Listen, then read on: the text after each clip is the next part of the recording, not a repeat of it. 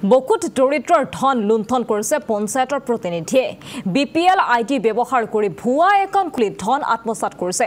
প্ৰধানমন্ত্ৰী আৱাস যোজনাৰ গৃহৰ সমুদায় ধন আত্মসাত কৰিছে আৰু বকুৰ মাহতলী গাঁও পঞ্চায়তত সংঘটিত হৈছে এই ঘটনাটো।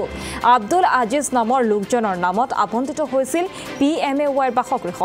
আৰু কেইবাটাও কিস্তিত ধন উলিয়াই নিলে পঞ্চায়তৰ প্ৰতিনিধিয়ে হাজিজৰ B P L I D ব্যৱহাৰ কৰি উলিয়াই নিলে ধন। প্ৰথম কিস্তিত উলিয়াই নিয়া হৈছিল এক দশমিক তিনি শূন্য লাখ টকা আৰু দুহেজাৰ একৈছৰ তিনি ছেপ্টেম্বৰত বত্ৰিছ হাজাৰ পাঁচশ টকা আৰু বাইছৰ দুই ফেব্ৰুৱাৰীত আঠচল্লিছ হাজাৰ সাতশ পঞ্চাছ টকা উলিয়াই লৈ যায়। দুহেজাৰ বাইছৰ তিনি মাৰ্চত উলিয়াই লৈ যায় আঠচল্লিছ হাজাৰ সাতশ পঞ্চাছ টকা আৰু এই ধনৰ এটা ফুটা কৰি পোৱা নাই আব্দুল আজিজে।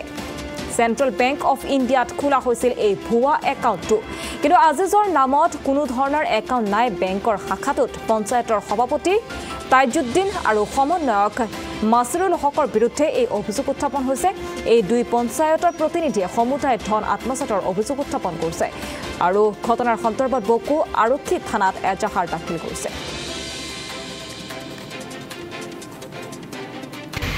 পৰে মই কাগজপত্র প্রতিদিনের কাছে জমা দিল। তাজুদ্দ আহমেদের কাছে জমা দিল কাগজপত্র পিছত কয়দিন পিছত মই খুঁজিব খুঁজবার গেছো যে মোর ঘর কাগজপাতি দিল সেইটো কি হ'ল? মোর ঘরটো কি হ'ল? আহন সেই বেশি বলা চলা কথা নকয়। পিছত আমি কম্পিউটারে মারি চাওঁ যে মোর কৰি ভুৱা একাউণ্ট কৰি সিহঁতৰ পইচাটো উদ্ধাৰ তুলি লৈছে।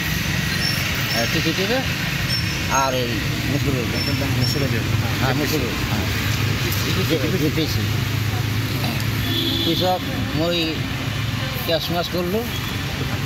থানাত কেছ করল সেয়াতো তদন্তত গেছিল আমার ওই সুন্তলি রশি সারে যাই ফেলে আমাক কয় কি কয় যে তুই এত সহি দিবি কালি থানাত যাবি এত সহি মারবি। মই কলাম স্যার কিয় সহি মারব? অলপ আমি তো সুন্তলি কেছ করা লাগবে সেই ভগত থানাত কেছ করছ। তাতে তো মই সহি দিছোঁ। কিয় দিবা লাগিব? কয় নহয় তই সুন্তলি থানাত যাবি যাই কেছ সহি দিব লাগিব হা আৰু আৰু সেই সেইবিলাক আসামীৰ লগত সিহঁতো বহি একলগতে তাত আহে সেইটো আমাৰ মুখ্যমন্ত্ৰীৰ কাছে আবেদন যে মোৰ নিজ বিচাৰ লাগিব। দোষিত মানুহ আমি মোৰ নিজ বিচাৰটো লাগিব। আপোনাৰ আপোনাৰ একাউণ্টটো ভুৱা একাউণ্ট বনাই আপোনাৰ নামত পইচা ওলাই নিছে সিহঁতে। মোৰতো চেণ্ট্ৰেল গভৰ্ণমেণ্টৰ এখন নাইয়ে মোৰ নামত বনাই সিহঁতে ভুৱা একাউণ্ট বনাই পেলাই গোটাই মকা পইচা তুলি লৈছে ঘৰ ক'ত আপোনাৰ আমাৰ ঘৰ পানী খেতি কি পঞ্চায়ত পৰে এইটো মাহাতলী পঞ্চায়ত। সমষ্টি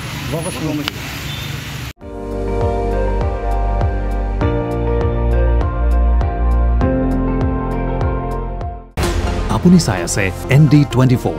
সৰ্বশ্ৰেষ্ঠ নহয় সৰ্বোত্তমৰ দৌৰত।